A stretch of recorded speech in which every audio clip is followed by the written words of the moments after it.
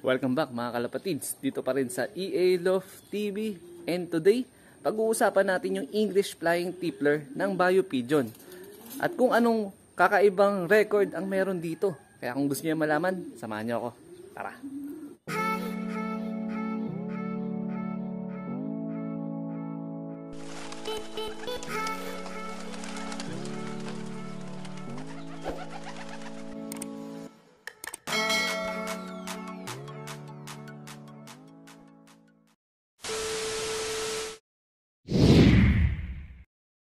Good day mga ka-EA! Welcome back sa ating YouTube channel. Ito na yung mga pangwalain na naman natin na mga flyers. Ayan no. So meron nga upload kahapon sa ating uh, Facebook page. So nag-i-start nga tayo pinakita ko doon yung training nila no. Na after nga ng Romonda at pag bumaba sila dito sa ating uh, flyer slope, eh sinusubukan natin silang papasukin nga agad no sa pamamagitan ng ating pito. And today dito sa ating uh, vlog ngayon, eh susubukan din natin gawin yun. No? At the same time nga, pag-uusapan natin, ano nga ba yung kakaibang record na meron sa English Flying Tippler? At kung saan lang dito sa Pilipinas makakapag-acquired ng ganyang klaseng tippler. No? Kaya samahan nyo ako today.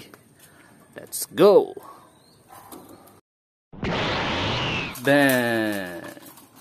So, eto na mga ka-EA. So, time check ng ating pagpapakain sa ating mga breeder. 7.02 AM. At meron akong dito nakita ito. Oh. Bagong bago, mainit-init pa. Ayun no. So kakapisa lang ng itlog ng ating pair na to no. Yung ating Bandenwegen. Yan. So napakamagand napakagandang napakagandang umaga or pagising sa atin dito sa ELOP no. So meron na naman tayong bagong pisa. Nakakatuwa. Kaya lang ang medyo kakaiba lang eh etong Coopman natin, ayan, tagal-tagal nang nag-egg nito ng third batch. Eh, isa lang yung nilabas.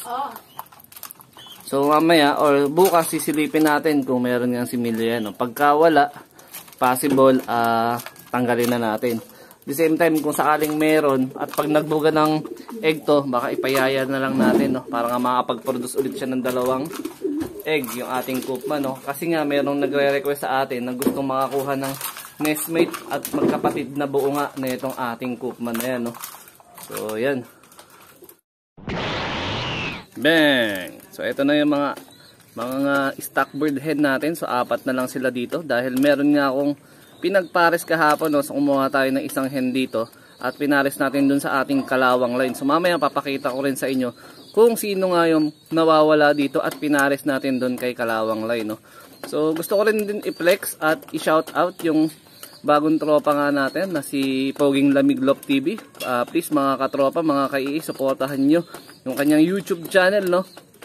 Parang katulad ng support ng tunay nyo rin na binibigay nyo sa akin dito sa EA Love TV. Yung marami kayong matututunan dyan kay Poging Lamig. At the same time, marami rin siyang binibigay na giveaway, no? Raffle gift bird, load training box. So, pwede nyo pasyalan yung kanyang YouTube channel. At the same time, meron pa akong isang gustong i-flex, no? So, shout out sa Team Salbabida, yan sa mga tropa natin diyan. So bagong sali lang ako sa grupo nila.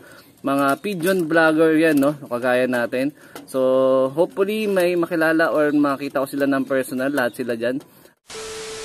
At ito naman yung ating ibibigay na supplement sa kanila no. So ito yung tinatawag ni ex-idol makina na pawis ng pating. Ayan. So, eh, ano to, Enerbon syrup na nakahalo sa 1.5 na tubig. No? So, ito yung naka-schedule natin sa kanilang supplement today na ibibigay natin sa breeder at the same time sa pliers no after nilang Romonda.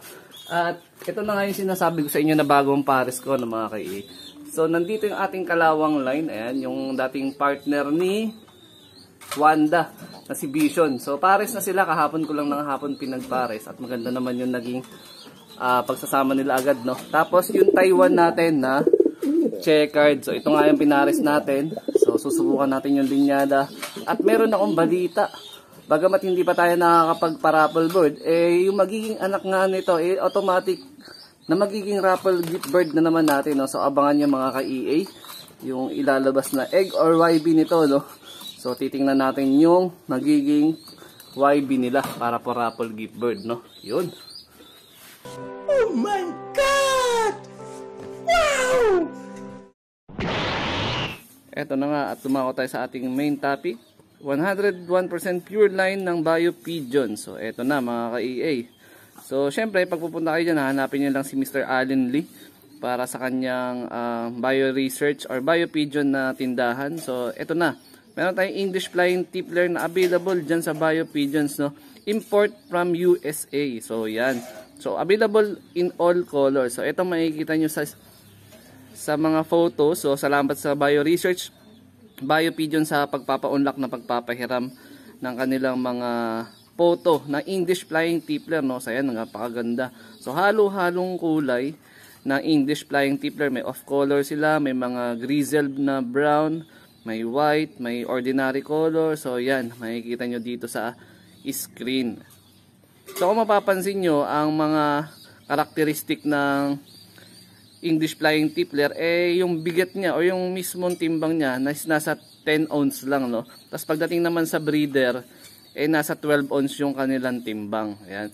So, medyo may kaliitan yung ilong. Nakala mo gamunggo. Tapos, medyo mahaba yung tuka, no? Tapos, maliit lang talaga yung tippler. At meron tong kakaibang record nga, no? Kung isi-search nyo sa Google. So, meron silang break, um, existing record na unlimited or hindi pala. Meron silang existing record na pinakamatagal na lumipad, no? na at least 18 to 20 hours sa ere no nang walang babaan no. So yun yung characteristic ng English flying tippler no. So sa so sobrang gaan niya at sa sobrang taas ng stamina nila eh talagang kaya nilang rumonda na walang humpay. Yun yung 18 to 20 hours yun yung katumbas. At meron silang vision or na binocular na 10 feet. So ganun ka sharp yung mga mata ng mga flying tippler no. So kung gusto niyo magkaroon ng ganitong klaseng ibon pasasama nyo sa inyong mga parondahin, eh wala namang problema.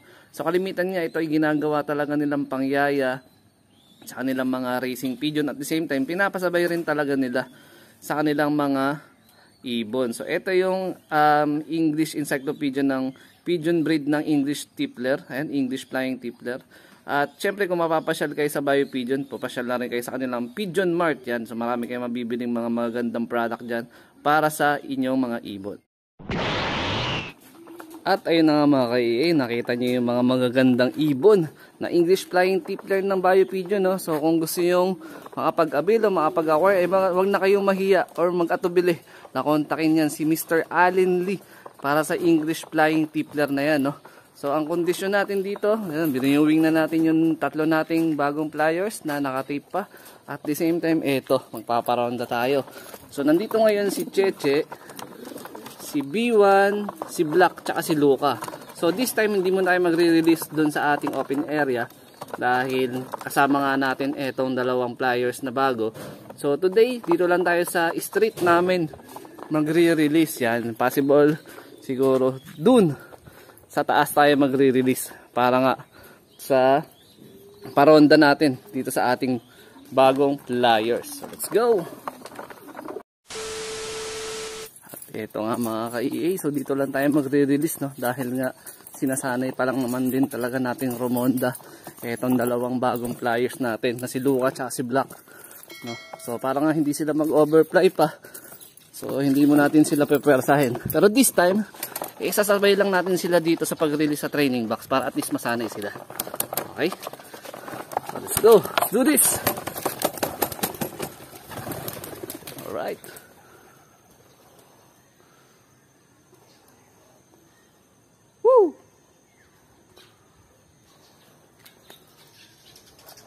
Ayun na. So, hindi pa sumasama talaga sa ronda. Si Luca, tsaka si Black. Ayan, no? So, hindi pa sila marunong. Yun, sumama na. Alright. So, yung lop natin, ayun, nandun sa baba. Tapos yung makulit kong anak, ayun, gising na siya. Ayun, no? Sarap na ronda nila, no? So, after Romonda, mamaya susubukan natin silang pituhan. Yan. So, nakaready na rin yung kanilang tubig ng baterya. Ayan. Si Luca. Ayun oh, hindi pa talaga. Ang magkasama sa ronda, si Cheche, tsaka si B1. Ayun, yan doon sa bandang dulo. Tapos si, si Black at si Luca. Ito, ito na sila. Ayun oh. So, ang bilis lumipad nung ano, ni Luca. Pang point guard talaga yung galawan, napakabilis. Ayan. So ito soon. Opo. So soon, malapit na rin natin tanggalan ng tape to, no? Ayan. So almost 2 weeks na rin kasi nagbo-viewing sa atin to. At mga maganda naman na yung pinapakita nilang um, performance. So, nagkukusan na sila ng-trap, no? Tapos napipituhan na rin natin sila. So soon, mapaparonda na rin natin tong bagong tatlo. So magkakaroon tayo ng pitong bagong pliers. At pagtapos nila, eh ito naman yung nakalinya natin na for viewing. No? So ito lalagyan din natin ng tape para iwas nga sa pitik. Yan. So magbo-viewing din tayo dito soon sa kanila. Alright. Paano masabi? So time check ng ating paronda. 7.31. So kanina nga nirelease ko sila mga around 7.26 no. So eto na. Medyo bumababa na yung lipad.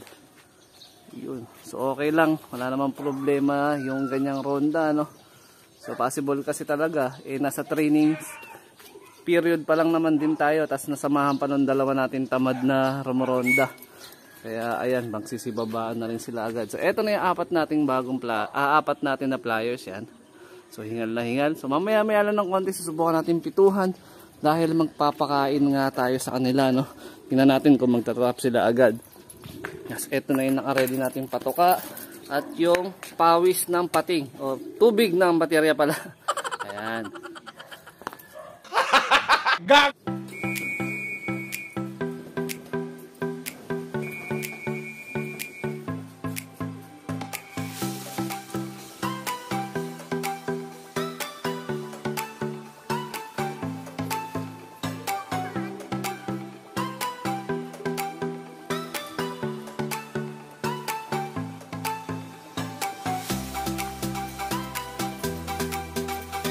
Seventy-five years later. Update muna tayo mga ka at ayaw nga pumasok ng mga alaga nating ibon. So possible siguro maya maya pa sila ng konti. Ini-enjoy pa nila yung pagtambay sa labas. Although alam ko gutom yan kasi nga nung hapon kahapon eh hindi naman ako ganun karami nagpakain sa kanila no. So hayaan lang muna natin silang i-enjoy ang labas nila. Then maya maya lang pagka nauhaw sila ng todo dahil medyo tirik na nga rin yung araw dyan eh kusa naman papasok yan yun. Ayan na yung mga parada birds natin na nanginginain kahit hingal na hingal na. Ayun, pumasok na yung isa nating YB na tinitraining. Ayan. So nag start na silang magsipasok.